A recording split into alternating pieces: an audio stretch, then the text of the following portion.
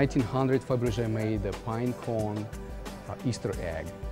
And I really liked that piece and decided, well, I'm gonna try to put that kind of pattern on the guitar, see what happens. And this is the result of it.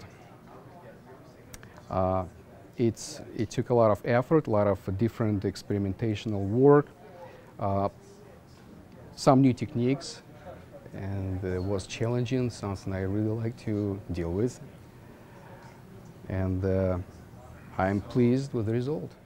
Guitar has uh, 550 diamonds, uh, the handset, uh, on the body, on the neck, around the headstock, even on a, as a side does as well.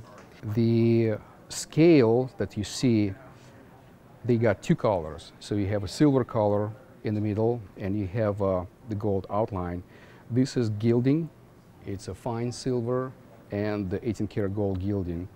New technique that I haven't been used before and it's uh, done over the hand carved scales that you see on the guitar.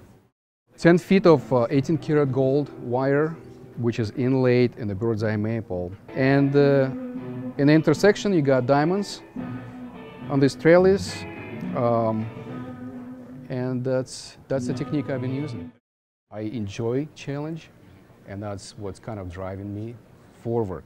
If you would ask me what was the most difficult task on guitar, uh, I would say that uh, the more difficult it is, much more enjoyable to do it. Otherwise, it's, when it's too easy, there is no challenge, there is no, uh, no motivation.